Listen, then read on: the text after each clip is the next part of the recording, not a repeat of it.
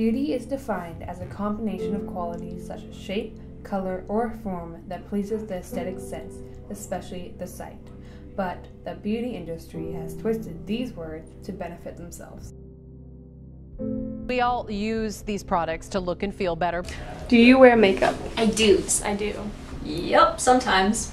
Yes. Uh, yes, I do. If I feel like pampering myself that day. How old were you when you first wore makeup? Um, I first wore makeup probably the end of grade 5 going into middle school. Uh, when I was 15. Um, Oh, does doing dance when you were 5 years old count? In grade six, I used to wear sparkly white eyeshadow. mm, third, 12? Um, I started wearing makeup as soon as I started getting acne.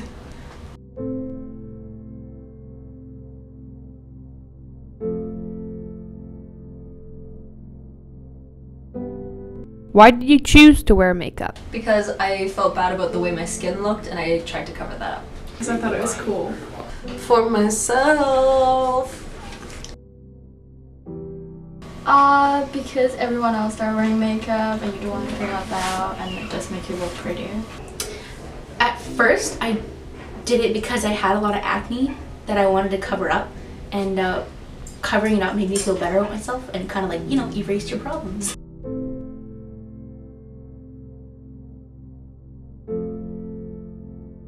Beauty products may promise a quick fix to your flaws, but make sure those long term effects are worth the risk. Did social media, friends, celebrities, beauty ads um, influence your decision to wear makeup?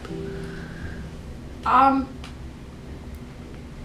yes and no. I mean, they influence certain styles of makeup that I wear, but not the actual wearing of it. Yeah. Uh, no. It didn't influence my decision to start wearing makeup because I started wearing makeup, like I said, for uh, to cover my acne. But once I had started wearing makeup, it definitely pushed me to go further with it and to add more things and uh, to develop my skills. Definitely, that's how I started learn how to wear makeup. There was this one girl in my grade six class, and she always had sparkly white eyeshadows. That's why I wore it. Because I had like the biggest, biggest friend crush on her.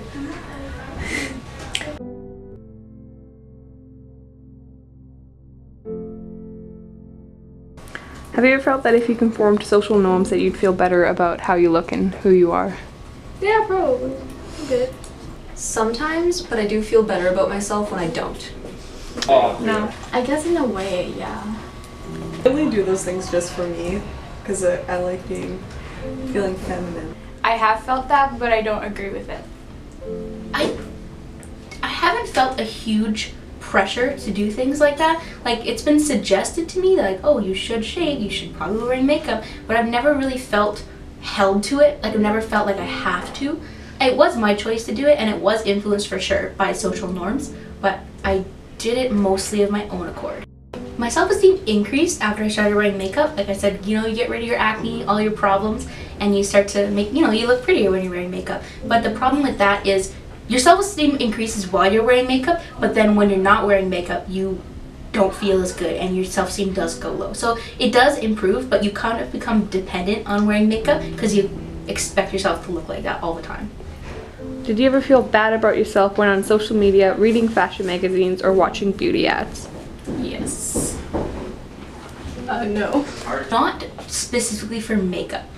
I did feel bad about myself when I watch beauty, when I see beauty ads or watch YouTube and stuff, but not in the fact that I feel like I look ugly, but because man, they're so good at makeup. I wish I was that good at makeup. It was more of a skill thing than it was me feeling bad about the way I looked.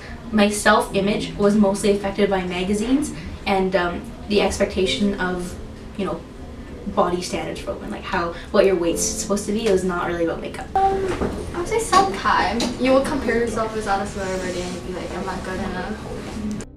If there was anything I would say to young girls is that you are beautiful whether you wear makeup or not.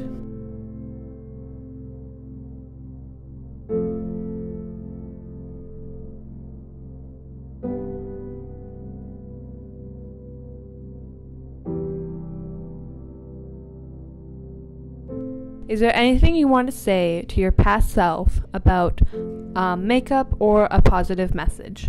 give my younger self any advice about positivity, makeup, whatever, I would say that makeup is fun and you look really good wearing makeup, but you don't don't feel pressure to wear it all the time and don't feel like you're ugly without it because that's not true. It, it's there to enhance and it's there to have fun, but don't feel bad for being yourself without makeup. Um, that everyone has a different style and just because yours is different from other people doesn't mean that it's a bad thing and doesn't mean that you're not going to fit in.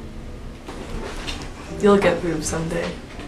Be happy with like who you are and like what you look like and what your parent gave you. I think I would say that like just do whatever you want. No one's gonna care in the end.